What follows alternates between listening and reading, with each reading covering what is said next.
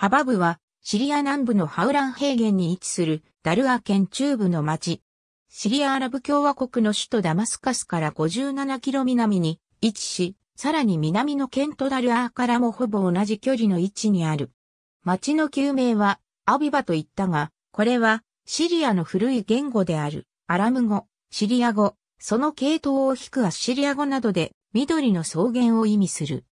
ハバブの天候はシリアの南部地域に共通するもので、おおむね穏やかであるが、冬には寒波が襲来することがあり、夏は比較的高温になる。ハバブの気候には、はっきりとした季節変化があり、夏の日中は高温になるが乾燥した夜風は快適であり、秋は木の葉の応変で始まって寒さを増し、12月から2月にかけては寒い冬になって3月からが春となる。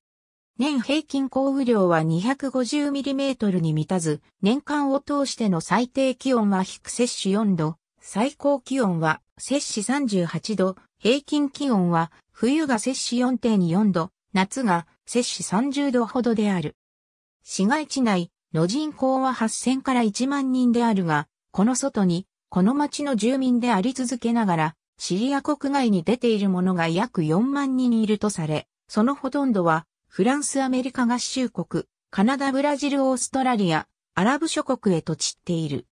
人口増加率1.01%男女比率、女性51%、男性49%幅部の住民は、キリスト教徒であり、ビザンツ式典礼に従うメルキテ、ギリシャカトリック教会の信仰を持っている。幅部には、聖マリア大聖堂、聖リタ街道、聖リオット街道、聖ミカエルの街道と4つの教会がある。いずれも古く荒廃しており、広司教区と女子修道会が再建に取り組んでいる。最も一般的な言語はアラビア語である。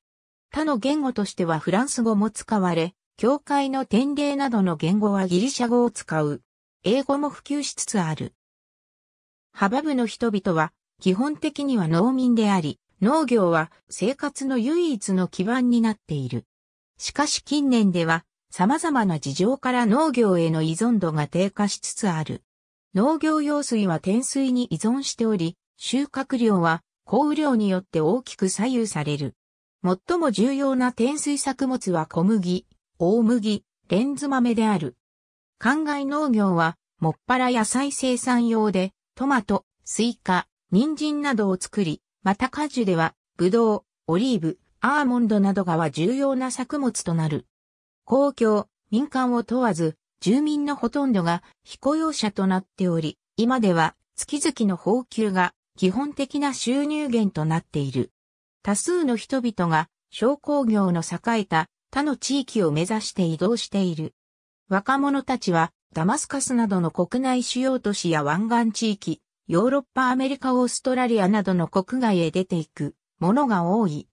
町に残っているものも農業に依存した親や祖父母の生活を受け継ぐことにはほとんど関心を持っていない。人々の識字率はシリア国内では最も高い水準にある。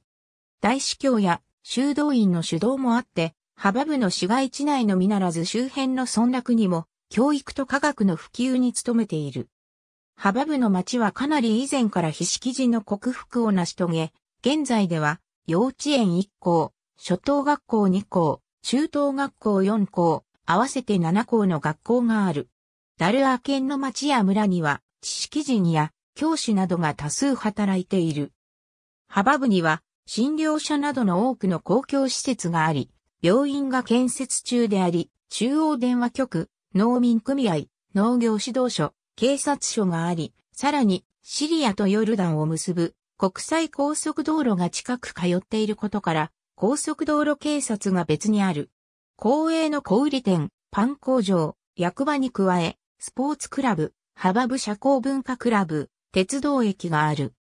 町の中心にある市場には、住民の様々な需要に応じて、薬局、医師、歯科医師、獣医師、電気電子機器の修理、コンピューターアクセサリーショップ、鍛冶屋、大工、自動車センターなどがあり、公園の整備も準備されている。ありがとうございます。